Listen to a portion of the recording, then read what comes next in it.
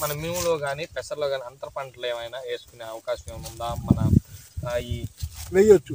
మినుములో పెసలు మేము జనరల్గా ఇప్పుడైతే మానేశారు. వెల్కమ్ టు రైతన్నకు తోడుగా. ఇప్పుడు మనం వీడియోలోకి వెళ్దాం. మన ప్రధాన రైతన్నకు తోడుగా యూట్యూబ్ ఛానల్ ప్రధాన సలహాదారుడు మన తాటికొండ సుధాకర్ గారిని. అసలు మనం ఈ మినుము పెసర అధిక వర్షపాతం వల్ల ఎందుకని గ్రోత్ తగ్గిపోయింది? అసలు ఆ గ్రోత్ పెంచుకోవటం ఎలా? ఆ, సమస్యల గురించి మన తాటికొండ సుధాకర్ గారిని అడిగి తెలుసుకునే ప్రయత్నం అయితే మనం ఇప్పుడు ఈ వీడియోలో చేయబోతాం మనం ఇప్పుడు మన సుధాకర్ గారిని అడుగుదాం. సార్ నమస్తే సార్. సార్ అసలు ప్రధానంగా ఇప్పుడు మన తెలంగాణ రైతన్నులకి అసలు వరి అతి- వరి తప్ప మినుము పెసర అనే పంట అయితే చాలా తక్కువగా విన- పండటం వల్ల వరి నేటి పరిస్థితుల్లో తెలంగాణ రైతన్నులందరూ కూడా మినుము ఎన్నుకున్నారు. అలాంటి ఈ పరిస్థితుల్లో ఆ రైతన్నలకి అసలు మినుము ఉండబడిన అధిక వర్షపాతం వల్ల వాళ్ళకి అసలు ఏం అర్థం కావట్లా. మినుము గ్రోత్ రావట్లేదని కొంతమంది తేమ శాతం ఎక్కువ ఉందని కొంతమంది రైతన్నలు అయితే మన యూట్యూబ్ ఛానల్ కన్సల్ట్ అయ్యారు. దాని గురించి మీరు ఏమంటారు సార్? ముందు కొత్తగా వ్యవసాయం చేసే వాళ్ళందరికీ మినుము పెసర వెన్నుకున్నందుకు వాళ్ళని అభినందిస్తున్నాను. ఎందుకంటే ఇది వచ్చి తొంభై రోజుల పంట మాత్రమే. తొంభై రోజుల్లో వచ్చేస్తుంది. షార్ట్ డ్యూరేషన్ క్రాప్ ఇదే టైంలో ఇందులో ఉన్న ప్రధాన సమస్య ఏంటంటే అత్యధిక కార్బోహైడ్రేట్స్ పోషక విలువలు ఇచ్చే పల్సెస్ పి- పిండి పదార్థాలు తయారు చేసుకుంటే తక్కువ కాలంలో. అందువల్ల భూమి నుంచి కావలసిన ఎలిమెంట్స్ సూక్ష్మ ధాతువులకి ఇది విపరీతంగా స్వీకరిస్తుంది. మామూలు ఎరువులు అంటే మనకు తెలిసింది యూరియా పొటాషు డిఏపి ఇవే వేస్తాం. ఇవి కాకుండా జింకు మాలిబ్డినము పొటాషుతో పాటు జిం నిక్కులు ఇవన్నీ కావాలి. పన్నెండు రకాల మూల ధాతువుల్ని బాగా ఉపయోగించుకోగలిగినవి ఈ పల్సెస్. అంటే పెసర మినుము. షార్ట్ డ్యూరేషన్లో. ఇవి అందకపోతే ఈ టైంలో తక్కువ వయసు ఉండటం మూలకాన గ్రోత్ ఆగిపోతే ఆ ఎఫెక్ట్ దిగుబడి దిగుబడి మీద పడింది. వర్షాలు వీటికి పెద్దగా నీరు అవసరం లేని పంట కాబట్టి అధిక వర్షపాతం వల్ల కూడాను జడ్డకేసి అంటే పెరుగుదల ఆగిపోయి సస్టైన్ అవ్వడానికే ఇది స్ట్రగుల్ పడింది. ఈ పరిస్థితుల్లో మనము ఎరువులు వేరు ద్వారా అందించాలంటే చాలా ఆలస్యం అవుతుంది కాబట్టి ప్రస్తుతం ఉన్న అందుబాటులో ఫోలిక్ స్ప్రేస్ మనకు కావాల్సిన వచ్చింది F formula four formula seven ఇవి కాకుండా డైరెక్ట్గా మనకి మన భూమిలో ఏ సూక్ష్మ పోషక లోపాలు అయితే ఉన్నాయో అవి సరి చేసుకోవడానికి మొక్కలకు మనం పోలీస్ స్ప్రే ద్వారా అందించుకోవచ్చు. వేగంగా అందుతాయి దిగుబడుల మీద ఏ ప్రభావం పడకుండా ప్రతికూల పరిస్థితులను తట్టుకుని ఈ పరిస్థితి పెరుగుతాయి. ఎంత త్వరగా రెస్పాండ్ అయ్యి మనం ఎంత త్వరగా దానికి అందించగలిగితే దాని లైఫ్ స్పాన్లో మనకు దిగుబడి అంత ఎక్కువ ఇచ్చే అవకాశం ఉంటుంది. సో ఏ లోపాలు ఉన్నాయి అన్నది మీరు మీ భూమిని సాయిల్ టెస్ట్ చేయించి తెలుసుకోవాల్సింది. జనరల్గా ఈ తెలంగాణ భూముల్లో నేను గమనించినంతవరకు జింకు లోపం మాత్రం బాగా ఉంది. జింకు లోపం ఉండి నీరు అధికంగా ఉండేటప్పటికి మొక్కలు పెరుగుదల బాగా ఆగిపోతుంది. ఇది ఒక కొండ గుర్తు పెట్టుకోండి. వీటికి ఎఫ్ ఫోర్ సరిపోతుంది. ఎఫ్ ఫోర్తో పాటు ఉన్నో యాసిడ్స్ కూడా స్ప్రే చే చేసుకుంటే ఆ లోపాన్ని ఆ పెరుగుదల ఎక్కడైతే ఆగిపోయిందో మళ్ళీ పెరుగుదల అభివృద్ధి చెంది ఆ డ్యూరేషన్ ఆఫ్ పీరియడ్లో అది గ్రోత్ సరిపోతుంది. అంటే మనం ముప్పై కిలోమీటర్ల స్పీడ్తో వెళ్ళి చేయాలంటే రెండు గంటలకు వెళదాం అనుకున్నది. మధ్యలో ఏదైనా కారణాల వల్ల ఆగిపోతే బళ్ళుకి స్పీడ్ ఎలా పెంచి నలభై యాభై చేసి ఆ టైంకి చేరాలనుకుంటున్నాము అలా ఉమ్లో యాసిడ్స్ కూడా మనకి ఉపయోగపడతాయి. మీరు మీకున్న అగ్రిక వ్యవసాయ విభాగం వాళ్ళని కలిసి మీ ఏమి వాడుకోవాలి అనేది నిర్ణయించుకుని మాత్రం త్వరగా త్వరగా వాడుకోండి. తక్కువ లైఫ్ స్పాన్ ఉన్నది కాబట్టి ఇవి ఇక్కడ రెండు. నెల రోజుల లోపల మొక్కకి చిన్న చిన్న బెజ్జాలు పడే అవకాశం ఉన్నాయి ఇవి. సక్కర్స్ చిన్న దోమలు కానీ ఇవి కానీ ఖరీదైన మందులు వాడాల్సిన అవసరం లేదు. ఎస్పేటు క్లోరో మోనో ఇలాంటి కొద్దిపాటి ఖర్చుతో కూడా వీటిని నివారించుకోవచ్చు. ఈ ప్రథమసారి వేసేవాళ్ళు సూక్ష్మ పాదు- ధాతువులను సరిగా అందించలేకపోతే పూత వచ్చినా కానీ కాయ నిలబడేకుండా ఉండే ఇబ్బంది ఉంది కాబట్టి మీరు కంపల్సరీగా ఫ్లానోఫిక్స్ యాభై రోజుల తర్వాత ఒక్కసారి ఫ్లానోఫిక్స్ స్ప్రే చేయండి. వచ్చిన పూత సస్టైనబుల్గా నిలబడిపోతుంది.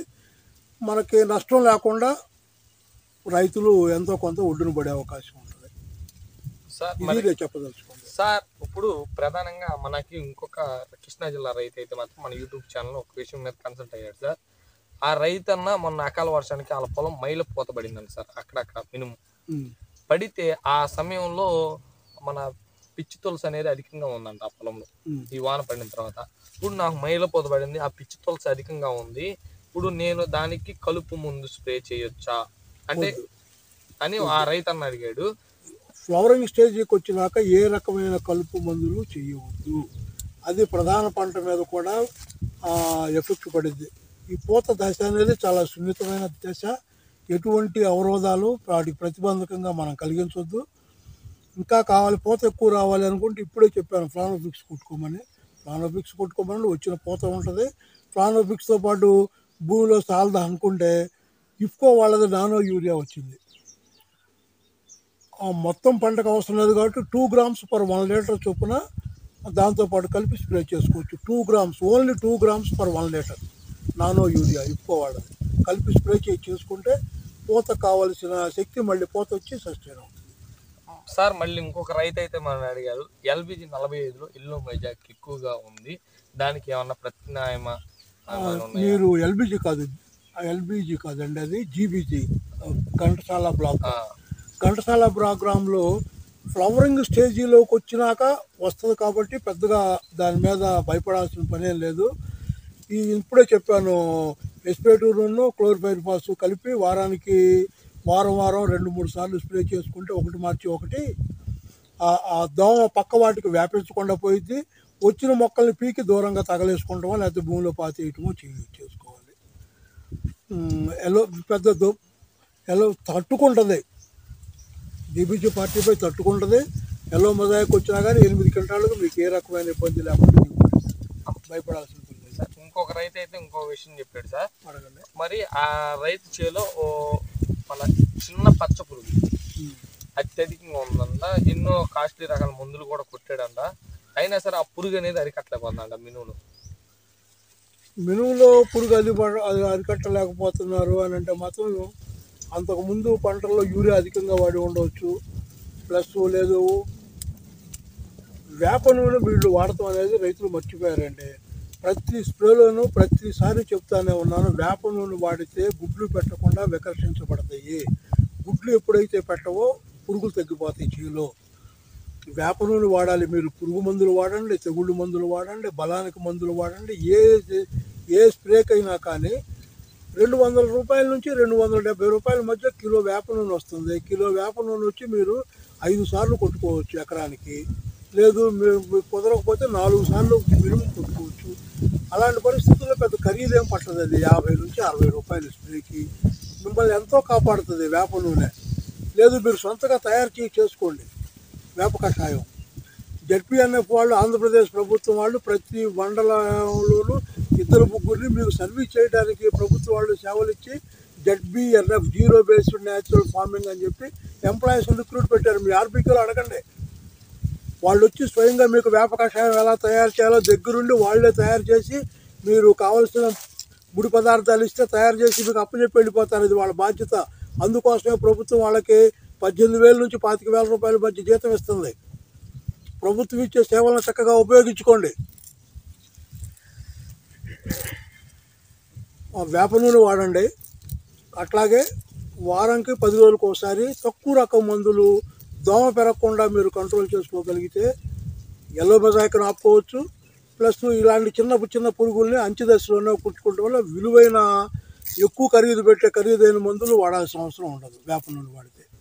నా రైతులందరికీ ఇది నా సలహా. సార్ మరి మన మినుములో కానీ పెసర్లో కానీ అంతర పంటలు ఏమైనా వేసుకునే అవకాశం ఏమైనా ఉందా? మన ఈ వేయొచ్చు. మినువుల పెసలో మేము జనరల్గా ఇప్పుడైతే మానేశారు కానీ గతంలో మన పూర్వీకులు ఆవాలు చల్లేవాళ్ళు. ఆవాలు చల్లడం వల్ల ప్రధాన పంట మీద పడాలి ఆ ఎల్లు పసుపచ్చ పూలు విపరీతంగా పూయటం వల్ల పురుగులన్నీ వెళ్ళిపోయి ఆవు పంట మీదే ఉండేవి అలా ప్రధాన పంట రక్షించబడేది. లేదు ఇంట్లో కావాల్సిన వాళ్ళు ఒక అరసాలు ఆవాలు చల్లేవాళ్ళు ఎకరానికి ఇంట్లో కావాల్సిన నాలుగు మానికలు మూడు మానికలు ఆవాలు వచ్చేవి వాళ్ళకి సరిపోయాయి. వెనకంటే రైతులు మొత్తం స్వయం పోషకాలు కదా. ఇతరుల మీద ఆధారపడేది అనేది రైతు దేనికి బయట కొట్టుకెళ్ళే పని ఉండేది కాదు ఆ రోజుల్లో. సార్ మరి కొంతమంది రైతులకు అపోహ అయితే ఒకటి ఉంది. అది వాస్తవం కాదో. మీరు ఇప్పుడు ఈ మన ఛానల్ మొత్తం మీకు తెలియజేయాలి అడగండి. మొన్న పడిన వర్షాలు కానివ్వండి నీళ్ళు పెట్టిన తేమ ఎక్కువగా ఉంది మొక్క బాగా గ్రోత్ అంటే ఎకరానికి ఒక అరకట్ట ఏరియా కానీ ఒక అరకట్ట ఇరవై ఇరవై కానీ వేస్తే ఆ మొక్క ఎదిగేసిద్ది ఆ తేమ శాతం తగ్గిపోయింది కొంతమంది రైతు కొంతమంది రైతన్నల దగ్గర అపోహ అది ఎంతవరకు వాస్తవం అంటారు? ఇప్పుడు సహజంగా నీళ్ళు ఎక్కువ అవడం వల్ల మొక్కకు ప్రతికూల పరిస్థితులు వచ్చే మాట వాస్తవే మొక్క తట్టుకోలేకపోవటం వల్ల. యూరియా వేయటం వల్ల ఏమవుతుందంటే కొంచెం అదనపు శక్తి దానికి జోడించి గ్రీనిష్గా కనపడింది మొక్కకు ఎంతో కొంత శైలిని పెట్టినట్టుగా అదనపు పోషక విలువలు ఇచ్చినట్టు. కోలుకోలేని రోగం పచ్చించి చేసిన వాడికి కొంచెం బలవర్ధకమైన ఆహారం పెట్టినట్టు వస్తే ఎకరానికి మీరు చెప్పినట్టు అంత వేయాల్సిన అవసరం ఏమీ లేదు. ఎకరం మొత్తానికి ఓ రెండు కిలోలు యూరియా స్ప్రే చేసినా మీకు అదే ఫలితం ఉంటుంది. నేను అందుకనే చెప్పింది ఇప్పుకో వాళ్ళ నానో యూరియా తీసుకొచ్చి స్ప్రే చేసుకోండి. భూమిలో ఎరువులు వేస్తే వేరు ద్వారా అందాలనేటప్పటికి టైం ఎక్కువ పడుతుంది. మూడు రోజులు కనపడేది ఇలా మీరు ఫాలీ స్ప్రే చేస్తే సాయంకాలానికే దాని రిజల్ట్ కనపడేది. మొక్కకి సైలెన్ పెట్టినట్టే ఇమ్మీడియట్ రిజల్ట్ దయచేసి ఈ స్ప్రే ద్వారా అందించడానికి చూడండి పల్సెస్కి. వీటికి లైఫ్ స్పాన్ చాలా తక్కువ. సార్ నానో యూరియా ఇప్పుడు వేయటం వల్ల బెట్టకు వచ్చే నానో యూరియా వెయ్యి స్ప్రే చేస్తారు. స్ప్రే చేసినందువల్ల బెట్టకు అసలు ఇది నానో టెక్నాలజీతో వాడింది.